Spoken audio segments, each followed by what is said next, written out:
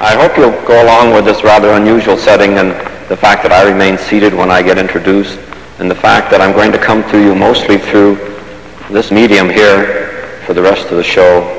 And I should tell you that I'm backed up by quite a staff of people between here and Menlo Park, where Stanford Research is located, some 30 miles south of here. And uh, if every one of us does our job well, it'll all go very interesting, I think.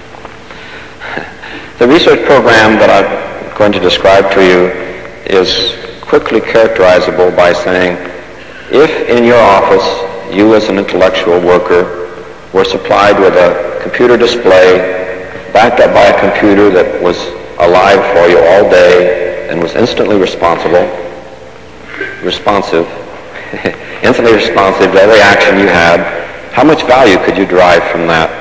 Well, this basically characterizes what we've been pursuing for many years in what we call the Augmented Human Intellect Research Center at Stanford Research Institute. Now, the whole session is going to be devoted to trying to describe and present to you the nature of this program, but unfortunately, uh, or fortunately, the products of this program, the technology of it, lends itself well to an interesting way to portray it for you. So we're going to try our best to show you rather than tell you about this program.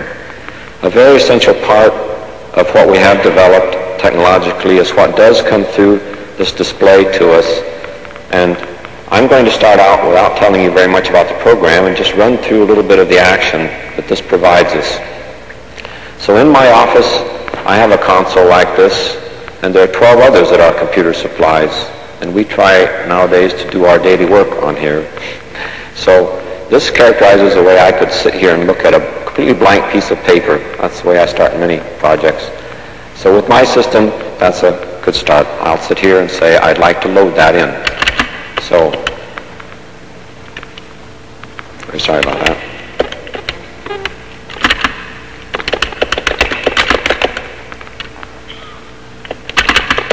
So I'm putting in an entity called a statement, and that's full of other entities called words. And if I make some mistakes, I can back up a little bit. So I have a, a statement with some entities words, and I can do some operations on these. I can copy a word. I can say that word like copy after itself. In fact, that pair of words I'd like to copy after itself, and I can just do this a few times and get a bit of uh, material there. And there are other entities like text. Say after there, I'd like to copy from that entity point to that point, and it'll copy it. Great. So I could get myself some material on my blank piece of paper, and then I'd say, well, this is going to be more important than it looks. So I'd like to set up a file. So I tell the machine, all right, output to a file. And it says, well, I need a name. I'll give it a name. I'll say it's sample file. And I'll say, please output it.